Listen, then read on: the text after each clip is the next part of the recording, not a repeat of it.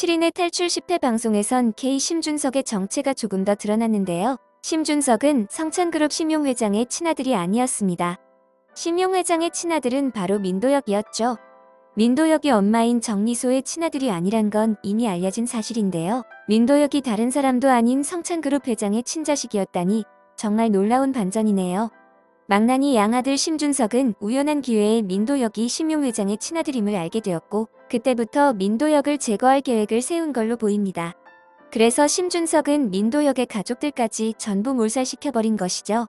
그런데 만일 민도혁이 이 사실을 알게 된다면 상황이 조금 반전될 수도 있습니다.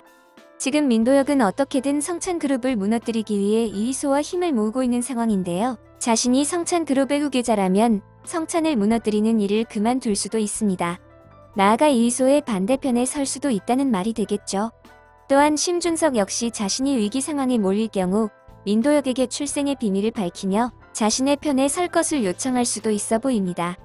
메큐리는 악인들이 가지고 있던 모든 것을 한순간에 빼앗아 버립니다. 속수무책으로 당한 악인들 앞에 모습을 드러낸 메큐리는 갑자기 자신이 이위소라며 그동안 숨겨왔던 정체를 밝힙니다. 예상보다 빠른 정체 공개에 시청자분들도 많이 당황하셨을 텐데요. 왜 이소는 이렇게 빨리 자신의 정체를 공개했을까요? 일단 메큐리는 악인들이 누리고 있는 중요한 것들을 빼앗으며 기본적인 복수를 마무리했습니다. 물론 자신의 딸을 죽게 만든 것에 비하면 약하다고 할 수 있지만 다미와 자신이 당했던 상황과 유사한 복수극을 만들며 이들에게 자신의 죄를 한 번 더 상기시켜 주었습니다. 그리고 메큐리 역시 결국 최후의 방다미를 죽게 한 사람이 K라는 사실을 알고 있기 때문에 악인들에 대한 복수는 이 정도 선에서 마무리할 계획인 듯합니다.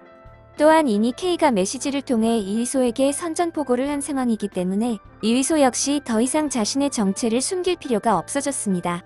그리고 메큐리가 K와 싸우기 위해서는 악인들의 도움이 필요한 상황입니다.